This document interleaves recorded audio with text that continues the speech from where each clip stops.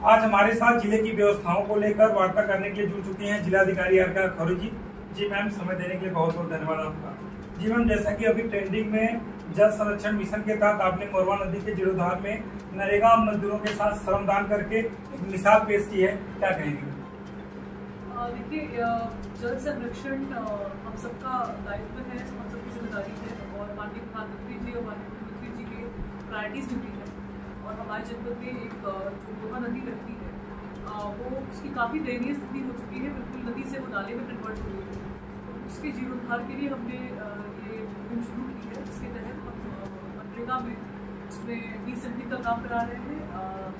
जगह जगह बंद बना रहे हैं ताकि जब वर्षा ऋतु आए तो उसको जल संचय हो सके और वो नाले से नदी के रूप में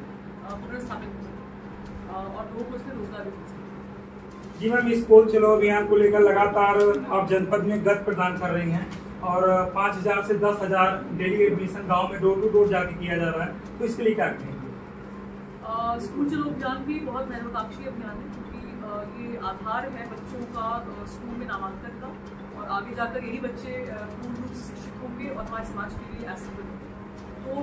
हर घर जाकर के खासकर जो बहुत ही हाशिए पे कम्युनिटीज़ हैं चाहे वो मुस्हर हो वटांगिया हो, या ईद भुट्टो पर काम करने वाले बच्चे उनको टारगेट करना, उनको स्कूल तक लेके आना, नामांकन कराना बहुत ज़रूरी है। तो इस तरह से हमने टीचर्स को मोटिवेट किया है, वो जा घर घर जा रहे हैं।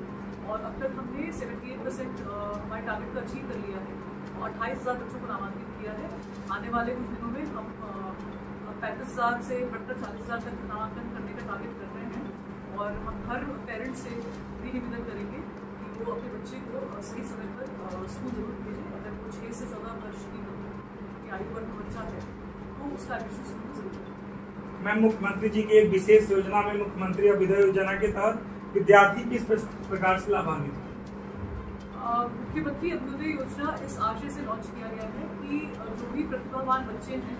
लेकिन किसी भी कारणों से संसाधनों की कमी की वजह से वो महानगरों में जाकर के प्रतियोगी परीक्षाओं के लिए कोचिंग नहीं ले सकते जनपद में ही निःशुल्क कोचिंग मिल सकती है। और ये बहुत नेक पहल है। और मैं भी प्रतियोगी परीक्षा पास करके आई हूँ, अन्य अधिकारी भी आए हम सब समझते हैं कि सही गाइडेंस और सही कोचिंग मिलना कितना आवश्यक है। तो मुख्यमंत्री अभ्युदय योजना के अंतर्गत हमने के एल पी जी की फैकल्टी के माध्यम से एक सर्कल बनाया है उसमें बैचेस क्रिएट की है यू पी एस सी के लिए और आई आई टी के एग्ज़ाम के लिए। और हमारे पैनलिस्ट और टीचर्स फाइनलाइज हो गए हैं जो इन बच्चों को ट्रेनिंग देंगे कोचिंग देंगे और हम आशा करते हैं कि प्रतिभावान बच्चे जो यू या पी क्लियर करना चाहते हैं या I I T exams clear करना चाहते हैं उनको निःशुल्क अच्छी गाइडेंस मिल सकेगी और हमारे जनपद से बच्चे अच्छी शिक्षा प्राप्त कर सकें। कोरोना वैक्सीनेशन को मैम आपने भदोही जनपद में शत प्रतिशत पूर्ण कराया और मिशन शक्ति को लेकर आप लगातार कार्य कर रही हैं। कोरोना वैक्सीनेशन में हमने एटीन प्लस जितने भी लोग जो वयस्क हैं वो हमने हंड्रेड परसेंट फ़र्स्ट डोज लगवा लिया है। और इसमें बहुत योगदान हमारे मेडिकल डिपार्टमेंट का रहा है। इसके साथ ही साथ हमारे टीचर्स का बहुत योगदान रहा है। पी का एस का, सबने बहुत मिलजुल के काम किया जिससे हम ये टारगेट अचीव कर पाए। और अब हम बच्चों को टारगेट कर रहे हैं फिफ्टीन टू सेवनटीन एज के बच्चे, जो जूनियर हाई स्कूल में पढ़ते हैं, और ट्वेल्व टू फोर्टीन ईयर्स के बच्चे, जो बेसिक स्कूल्स में हैं, या जो स्कूल के बाहर भी हैं, उनको टीका लगा रहे हैं ताकि हमारा समाज कोविड से सुरक्षित रह सके मिशन शक्ति के बारे में? मिशन शक्ति के तहत कई ऐसी चीज़ें हैं जो हो रही हैं। सबसे पहला जो मुझे दिमाग में आ रहा है वो है कि जो समाज में महिला महिलाओं के विरुद्ध अपराध हो रहे हैं उनमें त्वरित कार्रवाई हो और अपराधियों को जल्द से जल्द सजा दो। इस मुहिम के तहत हम अभियोजन पे बहुत बड़ी समीक्षा कर रहे हैं। और के कार्यों की और जुडिशरी में भी हम जिला जज महोदय से समन्वय स्थापित करके ये सुनिश्चित करने की कोशिश कर रहे हैं कि महिला अपराध में हर महीने कम से कम दस हज़ार दस केस में सजा मिल जाए। और साथ ही मिशन शक्ति के अंतर्गत हर ग्राम पंचायत में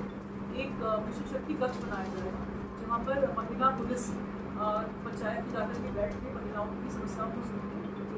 कर सकेंगे और ऐसे कई अन्य तमाम कार्यक्रम हैं जो हम अन्य विभागों के माध्यम से महिला जिलाधिकारी होने के नाते मेरे विशेष रुचि भी इसमें है और मैं चाहती हूँ कि उदाहरण के तौर पर सही महिलाओं को बच्चों को हौसला मिले और पढ़ लिख कर आगे बढ़ने की प्रेरणा थैंक यू